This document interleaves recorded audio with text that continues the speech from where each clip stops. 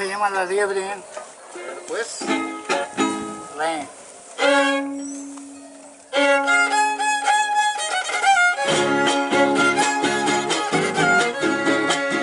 Nací en un rancho que se llama Coyolapa. Dice Coyol porque estaba un árbol, unos árboles de coyol y había muchos pozos para tener Náhuatl quiere decir apa, pozo. Coyolapa, el municipio de Zapesco Hidalgo.